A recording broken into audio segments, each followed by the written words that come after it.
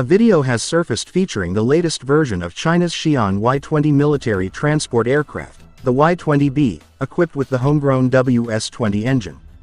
Furthermore, reports suggest this new version may have already entered service with the People's Liberation Army Air Force. The latest video depicting the new Y-20B aircraft seems to have been featured on the Military Report program, produced by the state-run CCTV 7 television channel dedicated to showing PLA's content.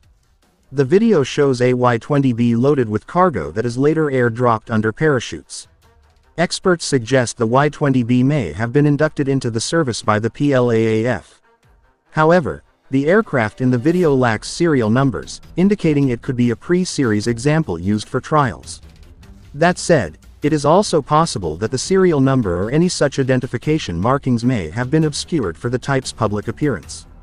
The Y-20B, powered by the domestically produced WS-20 high bypass turbofan engine, is considered a significant improvement over the Y-20A, which uses the Russian-made Soloviev D30KP2 engines.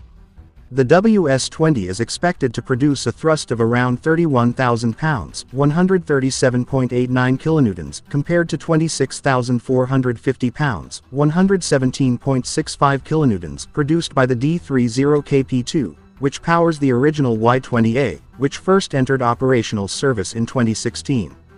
The D30KP2 is a low bypass engine, meaning less air flows around the engine, bypass air, than through the engine's core. Low bypass engines cannot produce the same level of thrust as high bypass units of similar size and are much less efficient. The Y-20 transport aircraft represents a massive capability for the PLAAF, as is evident from the considerable resources allocated by China to its development.